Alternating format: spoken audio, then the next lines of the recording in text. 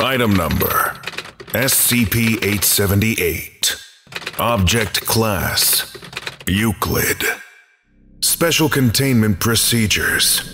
Efforts to physically contain either SCP 878 1 or SCP 878 2 have as yet been unsuccessful. It appears by all evidence that SCP 878 1 has no special abilities separate from SCP 878 2, though SCP 878 2 has shown a primitive sort of willingness to protect SCP 878 1.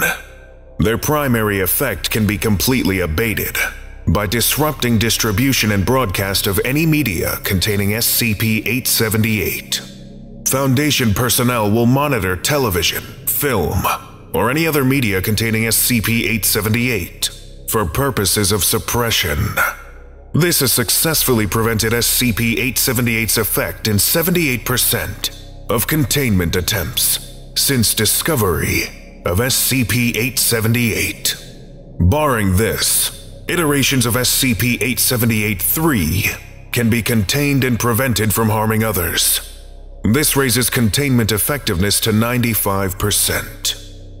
Description SCP-878 is an actor, alias SCP-878-1, and a prop knife, closely resembling a 6th century iron dagger from the Dynasty period in classified as SCP-878-2. SCP-878-1 has never had a permanent role on any television show, nor a role of any real importance in any film.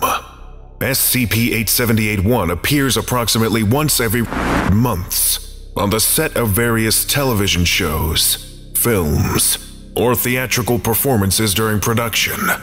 The crew forgets SCP-878-1 was ever absent, and alters the script to include him. After SCP-878-1's appearance, at some point throughout the course of the plot, the character played by SCP-878-1 will find itself in a situation that brings it into conflict with a more important character. The conflict will develop into blows, which always end similarly. SCP-878-1 will beat his opponent mercilessly, far beyond both what is necessary to disable the character and beyond the level of brutality typically expected from the film or show in question. Once the other character stands for the last time, SCP-878-1 will strike the other character with the back of his left hand, leaving them sprawled on a desk or some other elevated surface. Remove SCP-878-2 from an unknown location and then plunge the knife fully into the other character's heart. SCP-878-1 will turn towards the camera. At the moment his eyes meet the camera, the show will go to commercial, or the film will change scenes. Alternately, during theatrical performances, SCP-878-1 will simply disappear, with no audience member able to recall where the character went. SCP-878-1 will not be seen again, and no explanation will be given for his absence. From this point on, the actor who was killed may be identified as SCP-878-3. After the event, SCP-878-3 will begin to display behavioral abnormalities, uncharacteristic of their previous personality. This will begin with minor sex scandals and drug addictions, degenerating within a matter of weeks into paranoia and homicidal tendencies.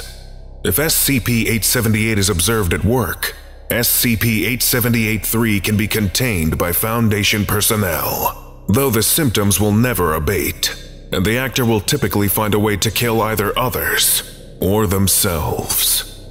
Since most instances of SCP-878-3 simply disappear from the public eye, a fate not uncommon for less well-known actors, the correlation between SCP-878-1 and his effects has gone unnoticed by the general public, and a stress-related cover story is given to the actors' families. To the extent that they are a single entity, SCP-878's motives are unknown. No records of SCP-878-1 appearing in any media without SCP-878-2 exist, and his real identity is unknown. Proposals for controlled use of SCP-878 as a means of containing broadcast-based anomalies, such as SCP-1241, are currently under review. Lesson complete. If you missed the previous orientation, go watch SCP 877 University Microchips right now. Or for the complete course, watch this playlist.